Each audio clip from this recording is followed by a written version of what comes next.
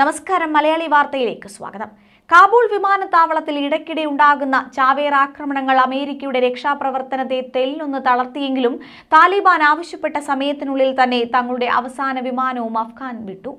അഫ്ഗാനിസ്ഥാനിലെ രണ്ട് പതിറ്റാണ്ട് നീണ്ട സേനാ വിന്യാസം പൂർണമായി അവസാനിപ്പിച്ചിരിക്കുകയാണ് യു എന്നാൽ അവസാന നിമിഷത്തിലും ഐസിസ് കെയുടെ ആക്രമണം കാബൂളിലുണ്ടായി. എന്നാൽ അമേരിക്ക ആ ആക്രമണത്തെ മുളയിലെ അങ്ങ് നുള്ളിയെന്ന് വേണം പറയാൻ. കാബൂൾ വിമാനത്താവളത്തിന് നേരെ വന്ന അഞ്ച് റോക്കറ്റുകൾ ഉപഗ്രഹ വേദ മിസൈൽ ഉപയോഗിച്ച് അമേരിക്ക തകർത്തു തരിപ്പണമാക്കി.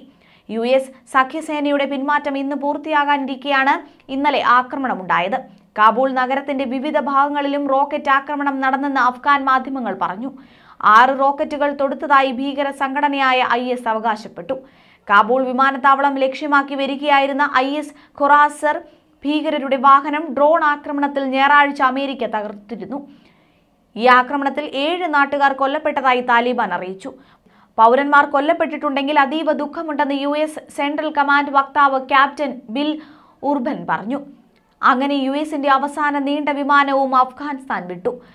അമേരിക്കൻ അംബാസിഡർ റോസ് വിൽസൺ അടക്കമുള്ളവർ യു എസിലേക്ക് തിരിച്ചു. കാബൂൾ വിമാനത്താവളത്തിന്റെയും അഫ്ഗാന്റെയും പൂർണ നിയന്ത്രണം താലിബാൻ ഏറ്റെടുത്തു. പിന്നാലെ ആകാശത്തേക്ക് വെടിയുതിർത്ത് യു എസ് സേന പിന്മാറ്റം താലിബാൻ ആഘോഷമാക്കുകയും ചെയ്തു.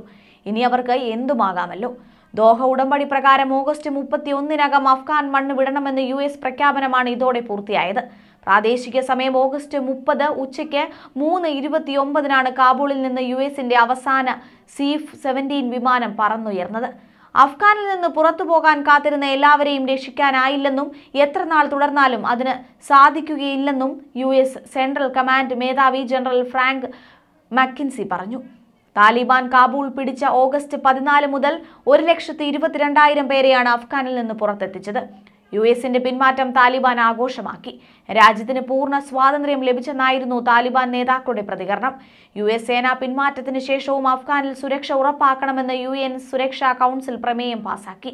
ബിൻ ലാദൻ അടക്കമുള്ള ഭീകരരെ വധിക്കാൻ സഹായിച്ച അഫ്ഗാൻ ദൗത്യത്തിൽ രണ്ടായിരത്തി നാനൂറ്റി അറുപത്തിയൊന്ന് സൈനികരാണ് മരിച്ചു വീണത് ന്യൂസ് ഡെസ്ക് മലയാളി വാർത്ത.